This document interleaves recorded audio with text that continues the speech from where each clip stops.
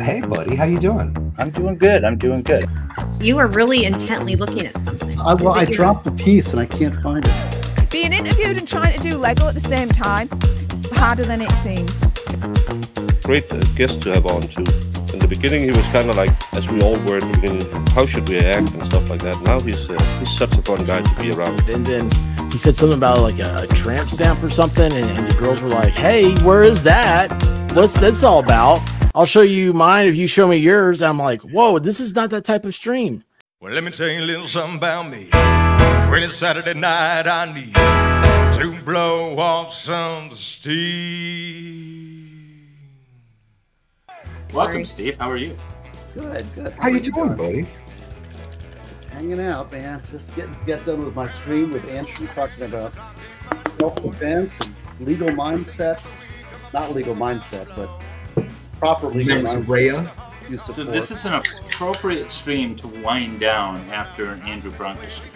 Good. I'm ready to party, man. I got my. Um, I don't know. If, everybody's so sick of hearing me say I got my death penalty case, but here it is, right here. It's ready to be filed next week. My three months worth of work right there. So Nice. my initial brief is done, so now I can at least relax for at least another couple days until I get start getting cases in. When you get one of these cases, they take all the cases off your desk. Excellent. And We're I'm going to fail spectacularly again at getting limited on stream, especially if I'm drinking for second. I certainly hope so. I certainly hope so. Cheers to a good bill day. Okay, um, maybe I should go ahead and get alcohol. Let me see. Yuengling Cheers. for the win, y'all. This is fun. Thank you. That's nice. Boy, I'll tell you, man. Chicks that watch their guys play Lego. That's Right? That's pretty cool. You know, we think it's hot. Is it Lego really? building? Finally, I'm on. I'm on. By the way, I am on two, Thank and you, I John. finally found the part. yeah, you're not finishing this one. No, no. I, I'm against it being a negative. I think it's a positive. Right. There's so, I, there's so I much agree. negativity in the world. And it's like if we can tell each other that, you know, I, I like this about you, be specific and be mm-hmm. honest, but mm-hmm. damn it, be nice and say I- nice things to people. Thank you, Steve. I have totally agree with that. So, Steve, how did you first meet Branca? Just doing legal work, the law stuff? Well, um, it was the Zimmerman trial, and that was in my jurisdiction. So I, I don't watch trials unless I have to. and that was one that I was afraid that was going to come our way. And so I was watching it for, you know, so that in case it came our way, that we'd be able, because the records on that would be ridiculous, right? Yeah. So, so that's what I did. Is I um, wait a second, this goes here. Um, so I was watching it, and then of course, as I was watching it, I'm looking for people to comment legal analysis, and there was a there's a website called Legal Insurrection, and they did a um, and Andrew was commenting on legal insurrection, doing it day by day, so I didn't have to watch it. I just could watch it, and he was the only guy that knew what he was talking about. Most people don't know what they're talking about, right? And then so I sent sent him an email like this talk about simping. I, I believe you should always recognize when someone's good. So I sent him an email saying I really like what you're doing. You're the only person I've seen that knows what they're talking about when it comes to this self-defense law, and you know, thank you for commenting. And so he wrote back, and you know, we kind of established a relationship there. And then occasionally I'd have a case as a self-defense case, and I'd ask him, you know, appeals. And so I'd, I'd, you know, throw him a scenario and say, "What do you think about this?" or whatever. And then, um, and then he uh, he would do the same. Like he'd have a Florida case, and he'd ask me something about Florida law. He'd email me, and then he sent me his book, and you know, signed book and all that typical. And so we had a relationship for going for several years. And then I don't know what it was, but he was on Rekieta's stream. I don't know what I was doing watching that, but I was on Nick's. and then I'm on the I'm on the I'm in the background or whatever, and I'm commenting, I'm chatting. I love chatting in the comment section, you know. And then Andrew's like, "Hey, Gosney's in the chat. Send him a link." That's how you got on Rekieta? Yeah. So I'm like, oh, okay. And so I show up and I'm like, what's this stuff? I don't even know what the hell it was. and then they're asking me to grift. Do you need to grift this? And I'm like, what's that? I don't really, still really quite understand the whole thing. I just do my thing. But say, what is, how does this go? I don't know where this piece goes. but, but like, okay, I, I agree. What I, everything that I've seen on the Anderson trial comports with what I've seen in other wrongful convictions. Okay, especially, and I saw that asshole prosecutor. Excuse me, but you know, whatever his name was, I don't even know. But that Gravely. Get guy, wrecked. whatever that guy was, he was a complete jerk. And that that to me is very comports with other prosecutors I've seen that are very bad. And that's the kind of stuff that results in wrongful convictions. I'm very much against it. You know, I speak out against bad prosecutors all the time. Yeah. It's like to me that that's the kind of guy that should not be anywhere near courtroom as a state No. attorney because he was playing a lot of games and this is somebody's life. It's not a game, but he's Right. playing these games about like um guilt or innocence about like thinking it's about his career and he's going to be the guy and you know but that's not this is about justice. I don't care about your statistics. I don't care about your win loss ratio. I don't care about any of that stuff. But unfortunately that's who gets in power. People they don't know um well i speak out a lot about bad prosecutors and that's what i see in that guy. But i think that focusing on things outside of yourself like okay and it's it's I, I hate to put it this way but let's what if for example you never you'll never meet somebody? What if you're just going to be alone for the rest of your life? Let's assume that's the fate that's the card. Oh look at this. No let's assume that's the card that you're dealt right?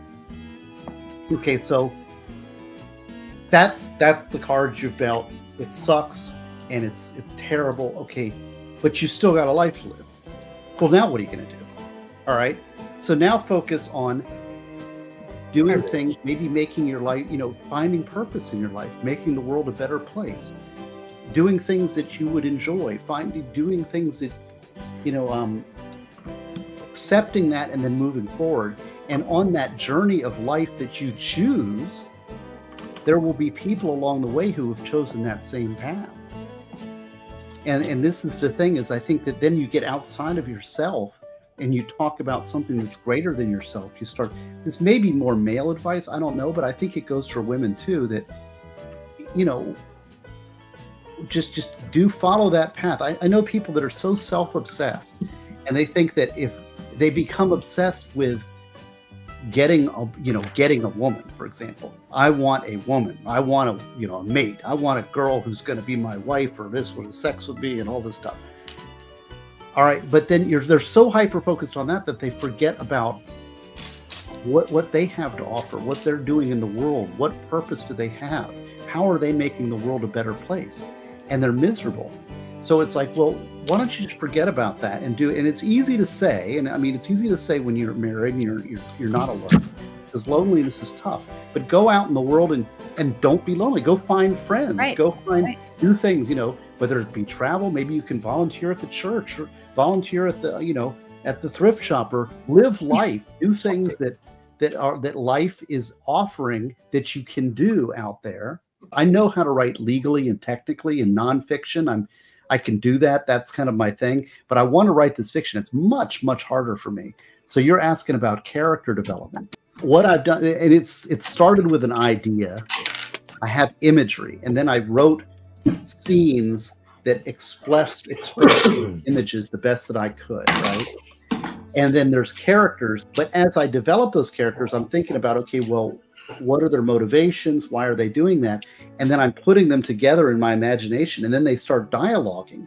And when they start dialoguing they start really developing. It starts fleshing out. So providing backstory and providing and also the world. Yeah dragon riders of Pern, that was anne mccaffrey. Um, so i've got a whole backstory i've got a history i've got a why you know there's religion and there's there's a faith element in it so you know, that was that's so I want to make that. Let me see if I can find a good paragraph to write read for you. But I'll, I'll give you this. This is a little little snippet. Ready? This is exclusive. I don't know why you're getting this out of me, but you are. because you love us, Steve. That's I why. do love you, especially you, Valhalla. You know I love you. Aw. I get Aw. You get no love. You're you're you're. you didn't read prepare. I do almost I all of my homework. All right, so let's see. This is um Act Seven. Okay, Iohotep felt the world spinning as he he was falling in as if he was falling into a hole. He felt his body begin to transform uncontrollably. His pale pink flesh grew scaly and gray. His body expanded, ripping clothes which whisked away into the swirling storm. Small white teeth grew into enormous fangs, and spindly fingers extended into long, sharpened claws. A tail lashed out from the figure as Hotep attained full dragon form. A cloud of dust rose from the thud of the fall, and the reddish brown dust stretched off in all directions. Only on the horizon, there appeared to be dancing figures lit up by distant fires along a dist- distant ridgeline. I gotta change that. The acidic air stung his flaring nostrils, but that was not what dominated the dragon's attention. The distant reddish glow illuminated. See, I got distant in there. The reddish glow illuminated a huge human figure kneeling over him. The image appeared to be Mage Lili, but his enormous form rose what seemed like hundreds of feet overhead. In the giant's hand was a clear, glass like container. How could such a giant even exist in this world? thought Hotep. The dimensions of the space twirled in his mind. There is a black, starless sky, so up exists, he thought. The reddish glow from the horizon suggested volcanic fire, and the scales of everything were off. Was he tiny? Was the mage huge? Confusion compressed upon his brain like a tourniquet. The landscape appeared utterly devoid of greenery.